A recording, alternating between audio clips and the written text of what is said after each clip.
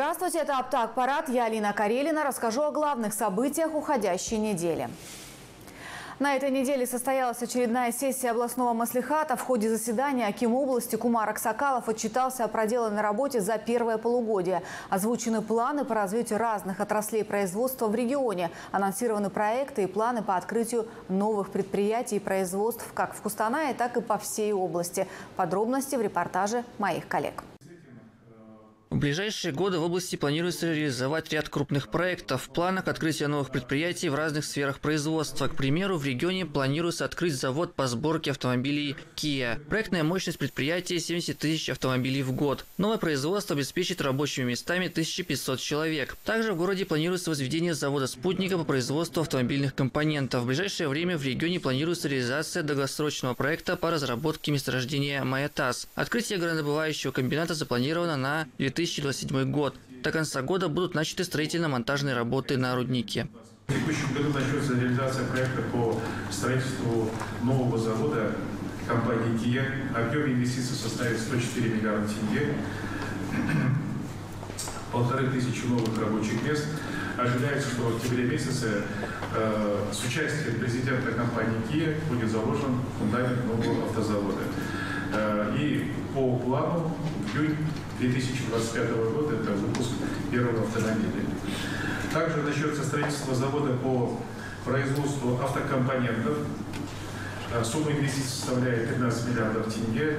До 500 новых рабочих мест появляется на этом предприятии. Активными темпами в регионе развивается сельское хозяйство. В прошлом году эта отрасль принесла области 152 миллиарда прибыли. Инвестиции в агрокомплекс в этом году увеличились на 2%. Важным вопросом в развитии животноводства в регионе является переработка. В ближайшие два года в области построят новые молочные фермы, появятся предприятия по выпуску кисломолочных продуктов. Также в области планируют открыть завод по производству сухого кобыльего молока. Реализация проекта связана с процессом диверсификации животноводства, так как переработка некоровьего молока распространена в области не так сильно. В ближайшее время в регионе планируется строительство комплекса по производству сыров. На реализацию проекта выделено более 7 миллиардов тенге. Это поможет создать 35 новых рабочих мест. После запуска предприятия сможет выпускать 2000 тонн сыра в год.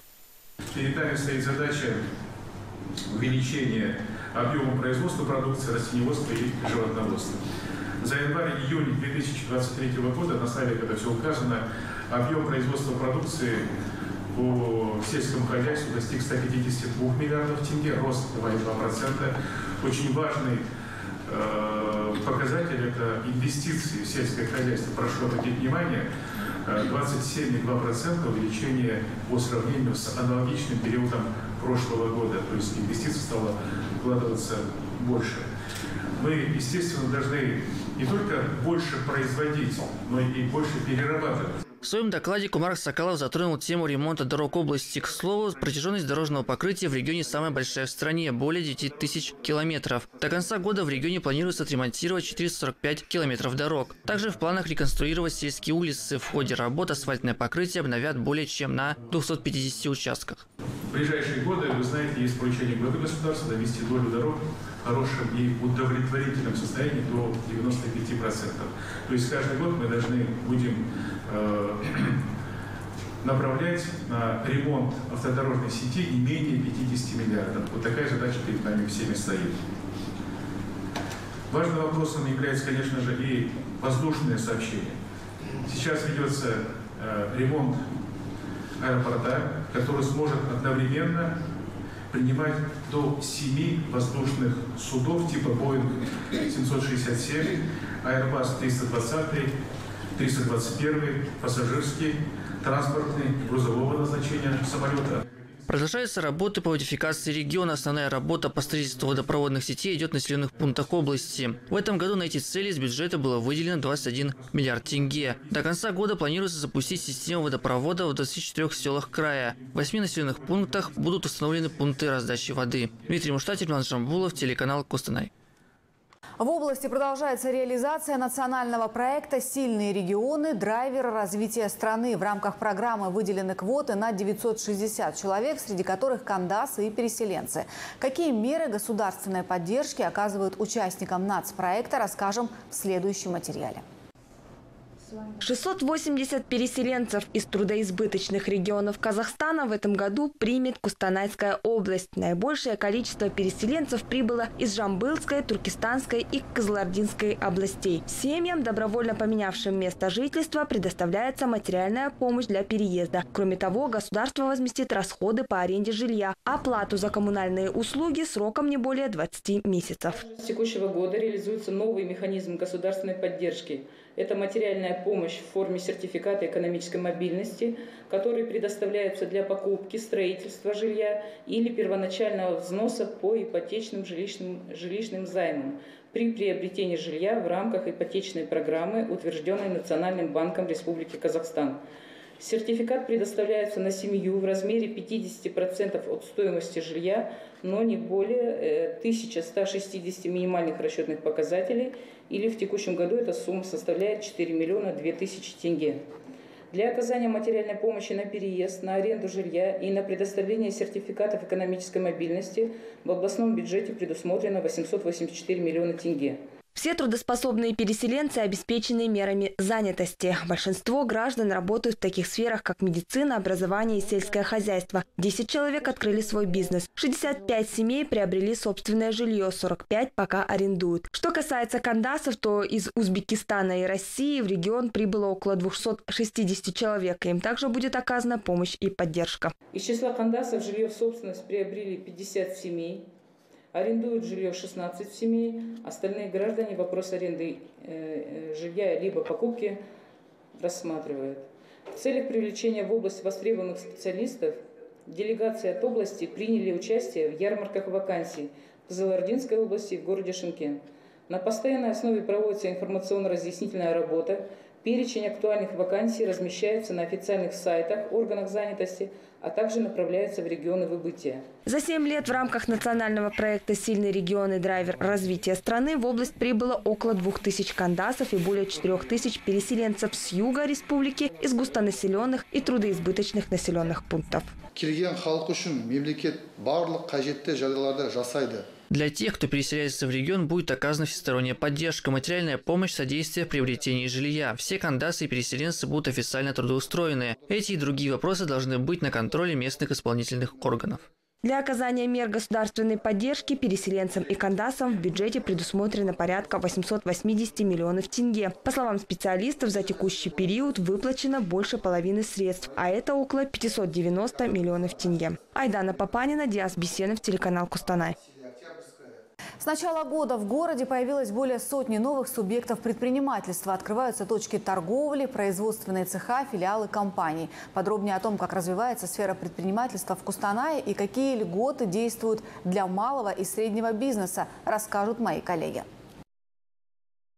В областном центре активными темпами развивается предпринимательство. Так, по сравнению с прошлым годом, субъектов бизнеса в Кустанае стало на 112% больше. Сейчас в городе работает более 30 тысяч различных ТО юридических лиц. В основном это малый и средний бизнес. Деятельность большей части предприятий областного центра связана со сферой услуг, оптовой розничной торговли, а также переработкой. Менее популярными у местных бизнесменов являются дорогие трудоемкие направления промышленности, где для открытия дела нужен большой стартовый капитал. С начала 2023 года зарегистрировано 70 вновь открывшихся субъектов предпринимательства, создано 120 новых рабочих мест. Наиболее востребованной мерой поддержки бизнеса является национальный проект по развитию предпринимательства на 2021-2025 годы, обеспечивающий устойчивый и сбалансированный рост предпринимательства, а также поддержание действующих и создание новых рабочих мест – Представляемые меры поддержки позволяют предпринимателям брать удешевленные кредиты за счет субсидирования процентной ставки, получать гарантию государства перед банками, а также государственные гранты для реализации новых бизнес-идей. Аким города Кустаная Марат Жандубаев отметил, что необходимо усилить работу по разъяснению основных положений программ по поддержке предпринимателей. В ближайшее время планируется увеличить количество участников проектов по развитию бизнеса в несколько раз. В целом это областной центр, надо понимать, да? Центр притяжения. Здесь, в принципе, и торговля, и оптовые базы, и все находится в городе Кустанай. Это понятно. Поэтому, в принципе, это и логично, что здесь идет рост. Другой вопрос, что мы должны тоже участвовать в этом. Вот по недостающей инфраструктуре, вот сейчас вы назвали предприятие, там какие-то суммы выделяем, да? Надо предпринимателям э, все-таки разъяснять с внутренней политикой, через средства массовой информации. Я об этом уже не раз говорил. Нужно вот, э, работу проводить. С начала года в Кустанае начали свою работу 70 субъектов малого предпринимательства. Создано 120 новых рабочих мест. Всего в сфере малого предпринимательства заняты более 70 тысяч жителей Кустаная. С начала 2023 года 515 субъектов предпринимательства получили 579 видов услуг в сфере бухгалтерского, налогового, юридические консультации по внедрению систем менеджмента качества, услуги по маркетингу и информационным технологиям. В рамках карты индустриализации в 2023 году на подведение недостающей инфраструктуры на стадии реализации 4 проекта. Подведение электрической подстанции и линии электропередачи это ТО «Фортуна Мед», а, проект одобрен РКС на стадии выделения денежных средств. ТО «ИБС Групп», ТО «Туран Агросервис» и один проект по водоснабжению – это «Казак Ойл». Проектно-сметная документация, которая э, находится сейчас на экспертизе, ориентировочно до конца текущего месяца. Целом хочется отметить, что в городе проводится активная работа по развитию предпринимательства, и темпы роста ключевых показателей социально-экономического развития региона являются его бесспорным подтверждением. В регионе продолжает действовать национальная программа по поддержке предпринимателей на 2021-2025 годы. В рамках проекта предпринимателям областного центра было выделено 5 кредитов под низкую процентную ставку. Большую часть из них получили мукомольные предприятия для расширения производства. Одна суда была выдана компании по производству газированной безалкогольной продукции продукции. Общий объем кредитования превысил 4 миллиарда тенге. Дмитрий Муштатев, Иван Шамбулов, телеканал Кустанай. В Кустанае в этом году в планах адаптировать 26 зданий для удобного передвижения маломобильных групп. На территории 11 объектов работа уже выполнена. Это магазины, супермаркеты, аптеки и поликлиники. Качество и доступность оценивает рабочая группа. Соответствует ли реконструкция здания нормам, услышала Айдана Папанина. Для удобного и беспрепятственного передвижения маломобильных групп населения в Кустанае не первый год реконструируют здания. Возле входной группы социально значимых объектов, магазинов и аптек все чаще появляются пандусы и подъемные лифты. По закону при оформлении акта приемки объекта в эксплуатацию составляется декларация о соответствии, которую подписывает отдел занятости и социальных программ. Нашим учреждением при оформлении архитектурно-планировочных заданий на проектирование и строительство объектов в разделе цели создания условий для жизнедеятельности маломобильных групп населения указывается необходимость разработки мероприятий по доступности объектов для маломобильных групп населения в соответствии с сводом правил. Проводимая работа дает положительные результаты. Отделом проводится информационно-разъяснительная работа о необходимости обеспечения доступа для маломобильных групп населения к социально значимым объектам. Согласно постановлению Акимата города Костанай от 8 июля 2015 года об образовании межведомственной комиссии по инвентаризации объектов социальной инфраструктуры была образована межведомственная комиссия по инвентаризации объектов социальной инфраструктуры. Межведомственной комиссии формируется рабочая группа. В нее входят специалисты из области архитектуры, строительства, социальные работники и представители НПО, которые проводят мероприятия по паспортизации и адаптации объектов социальной инфраструктуры для маломобильных мобильных групп. В прошлом году реконструировали 26 объектов. Три здания признали полностью адаптированными, остальные 23 – частично. Зачастую заключения, которые направляются в Департамент Комитета труда, не признаются адаптированными согласно сводам правил. Э, все заключения подписываются членами комиссии, среди которых есть и лица с инвалидностью. Одними из основных причин, почему объекты не признаются доступными, это Ширина проемов, дверей и проходов внутри помещения по своду правил по заключениям 80 сантиметров, но лицо с инвалидностью свободно продвигается через данный дверной проем. Отсутствие доступа на втором этаже и выше. Объекты, которые стоят на адаптации и до адаптации старых годов постройки, в которых отсутствует лифтовая шахта, в связи с чем обеспечить доступ на второй и выше этажи технически не представляется возможным. Проблемы выделения денежных средств на проведение адаптационных работ. Объекты образования, государственные учреждения финансируются из бюджетных средств. Объекты малого и среднего бизнеса предприниматели реконструируют за свой счет. В этом году адаптируют еще 26 зданий. Среди них поликлиники, школы, магазины и аптеки. Аким города Марат Жунубаев подчеркнул, что парки, скверы и места отдыха также необходимо сделать доступными для людей с ограниченными возможностями. Просто это надо закладывать просто финансирование и все. Через ЖКХ это надо идти. ЖКХ это понятно, это их в основном это объекты. Поэтому, Даняр Харач, вы сделайте, возьмите у них предложение. Рабочую группу пускай соберут на уровне заместителя Акима. Обсудите, общественника пригласите и дайте перечень, который мы заложим. И все, и тогда мы этот вопрос решим. Хорошо? Договорились. А по остальным объектам, которые вы называете, там адаптированы, понятно, это в плановый. Кроме того, градоначальник отметил, что осенью в Кустанае появятся новые автобусы. Они будут адаптированы для лиц с инвалидностью. Общественный транспорт оснастят специальным пандусом. Айдана Папанина, Родион Бабич, телеканал Кустанай. В области стартует прием документов на участие в жилищной программе «Кустанай Жастаре». Молодые люди могут получить льготные кредиты за счет совместных средств банка и областного акимата. Сумма финансирования составляет более 2 миллиардов тенге. Об условиях кредитования рассказали на специальном брифинге.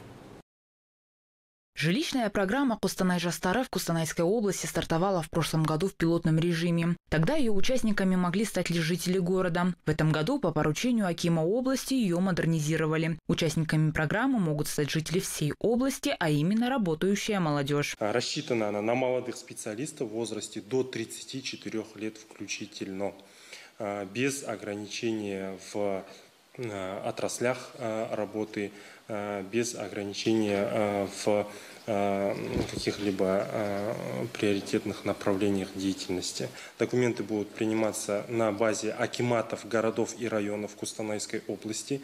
Для этого будут созданы специальные, уже созданы специальные комиссии э, по отбору претендентов. Отбор участников будет проводиться по бальной системе. Условий для участия несколько. Например, стаж работы на последнем рабочем месте должен быть не менее 6 месяцев. Претенденту необходимо иметь прописку там, где он намерен приобрести жилье. Третье условие условие – это отсутствие на территории Республики Казахстан у заявителя и постоянно совместно проживающих с ним членов его семьи на праве собственности, э, а также фактов отчуждения жилья в течение последних пяти лет. Сюда же мы относим арендное жилье, полученное по линии госпрограмм на территории Республики Казахстан, за исключением, то есть не учитывается доля недвижимости, полученной участником – программы или членами его семьи до совершеннолетия в результате приватизации или права на наследование. Совокупный ежемесячный доход членов семьи не должен превышать 150 э, МРП за последние 6 месяцев. В программе может участвовать только один из супругов. Максимальная сумма займа до 15 миллионов тенге. Ставка кредитования составляет 5% годовых. Первоначальный взнос должен быть не менее 10% от суммы займа. Максимальный срок жилищного займа до 19 лет. Участникам программы могут приобретать а, так на первичном, либо на вторичном рынке, где они сами а, уже найдут себе квартиры. Ну, конечно, у нас есть а, по залоговой части требования политики залоговая. А, мы не берем старше 50 лет а, дома, камышито-каркасные, саманные дома, вот тоже не берем. Вот. А, участники программы могут получать кредит только при наличии дохода от трудовой либо от предпринимательской деятельности. Хотелось бы также отметить в случае, если а, э, претендент не может подтвердить дохода, он может также привлечь двух созаемщиков. Требование тоже, чтобы обязательно а, работал наличие дохода от трудовой либо предпринимательской деятельности. В случае, если у участников будут одинаковые баллы, победит тот, кто окажется старше по возрасту. Члены комиссии будут учитывать и то, сколько вы прожили в браке с супругом, сколько у вас детей и какой трудовой стаж. В приоритете будут те, кто работает в социальной сфере и градообразующих предприятиях. Привилегий будет больше у претендентов, в чьих семьях есть инвалиды первой и второй групп. Срок подачи документов продлится до 1 сентября. Алмажана Манкильдинова, Диас Бесенов, телеканал Кустанай. Объединение собственников имущества и простое товарищество жильцы многоквартирных домов продолжают отказываться от услуг ПКСК. Сколько сегодня объединений уже создано в Кустанае и что произойдет с теми домами, что не торопится регистрировать ОСИ. Об этой актуальной теме говорим сегодня с Габитом Бектабановым, исполняющим обязанности руководителя отдела жилищных отношений Акимата города Кустаная. Здравствуйте, Габид Джалилдинович. Подскажите, как в Кустанае ведется работа по созданию ОСИ? Расскажите о процедуре, как выйти из ПКСК и создать свое объединение собственников квартир. Здравствуйте.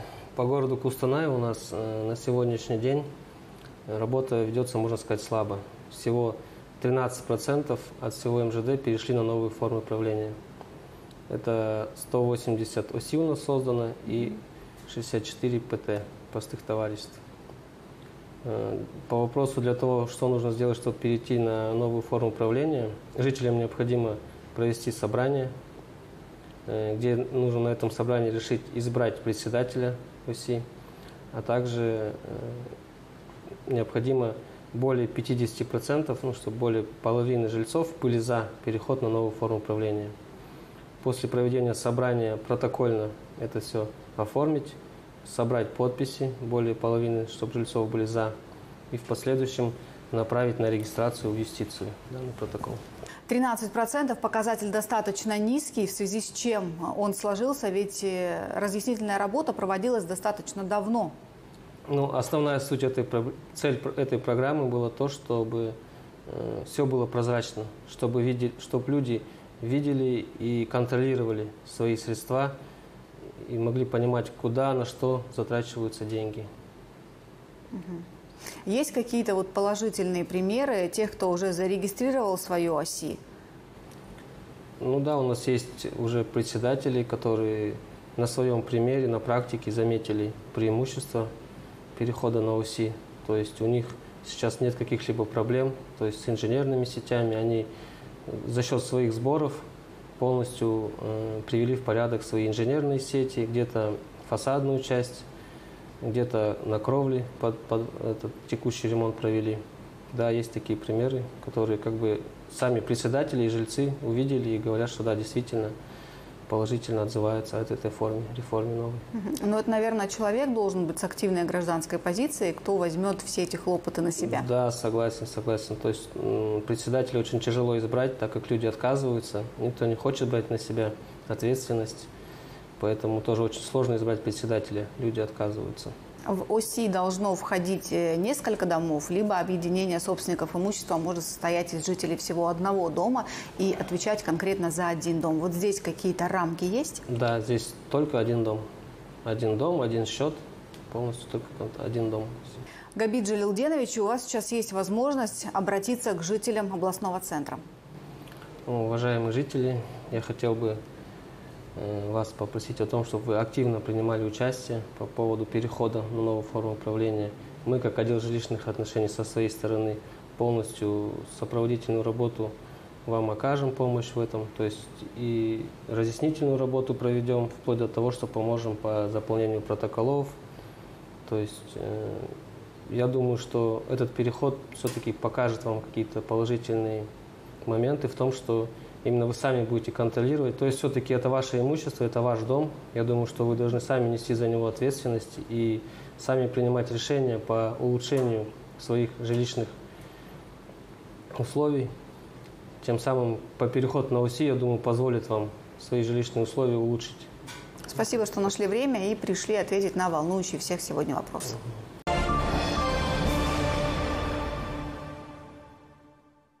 500 миллионов тенге должны кустанайцы теплоэнергетической компании «Кустаная». К окончанию отопительного сезона текущего года эта сумма была вдвое больше.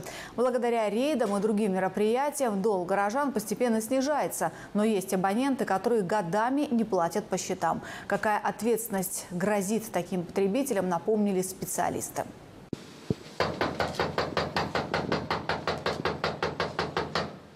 Задолженность за теплоэнергию хозяев этой квартиры превышает 600 тысяч тенге. На стук в дверь никто не отозвался. Контролеры говорят, это не первый их визит по данному адресу. Сотрудники, что работают с потребителями, еженедельно проводят такие рейды. Благодаря их работе за летний период горожане оплатили долг в 500 миллионов тенге. Еще столько же средств необходимо погасить злостным неплательщикам. Предприятие с должниками работает в двух направлениях. Это досудебная работа. Мы разносим счета извещения, вручаем уведомления, напоминания. Работает автодозвон. Также мы помогаем людям оформлять жилищные пособия. Идем навстречу к должникам, составляем гарантийные обязательства э, с, погаши... с графиком погашения задолженности. Вплоть до того, что мы даже приглашаем задолжников к нам на работу, чтобы они могли поработать и в то же время погасить долги. Услугами КТЭКа в Кустанае пользуются более 79 тысяч абонентов, некоторые из которых годами отказываются платить по счетам. Их контролеры называют миллионерами не потому, что они богатые, а потому, что они имеют миллионную задолженность перед компанией. Таких, по словам специалистов, 170 квартир. Долги с хозяев жилья взыскивают в принудительном порядке. Если, например, человек накопил задолженность 50 тысяч, и мы успели подать на него нотариусу, что для вынесения нотариальной надписи. Человек понесет дополнительные затраты. Это за нотариальную надпись более трех, более трех тысяч тенге нужно будет платить, от трех тысяч выше. И дальше за работу судебных исполнителей тоже до 25%. Вот я примерный расчет сделала, если, например, долг 50 тысяч, э, то нотариальная надпись 3050 взяла, и плюс 25% судебному исполнителю, это 12 500. И человек оплатит э, дополнительно 15 500, оплатит уже сверх задолженности. Каждый рейд контролеров возвращает компании в среднем до полутора миллионов тенге. Оплачивают абоненты свою задолженность моментально онлайн. Другие частями, так сказать, в рассрочку. Некоторые и вовсе не отвечают на требования. Зачастую, у которых много задолженности по коммуналке, у которых нет э, дохода никакого, нет имущества, нет счетов, с такими категориями людьми тяжело бороться. До начала отопительного сезона осталось не так много времени, поэтому специалисты отдела по работе с должниками будут выезжать в рейды чаще, пока жители города не оплатят все долги по счетам. Айдана Папанина, Диас Бесенов, телеканал Кустанай. 10 августа в Казахстане отметили День Абая. В этом году со дня рождения великого просветителя исполнилось 178 лет. В рамках празднования в Кустанае провели челлендж. Желающие прочесть стихотворение и исполнить произведение знаменитого поэта собрались в сети-центре. Имя великого просветителя у казахского народа уже давно стало синонимом к слову «мудрость», а произведения, что не теряют своей актуальности по сей день, симбиозом гуманизма и любви к родной земле. Почтить память поэтов Кустаная решили посредством проведения челленджа. Прочесть известные стихотворения и исполнить песни философа желающие собрались в центре города. Ежегодно наша библиотека проводит мероприятия к этому дню. Не только к этому дню, но и в течение года мы э, пропагандируем наследие нашего великого э, поэта.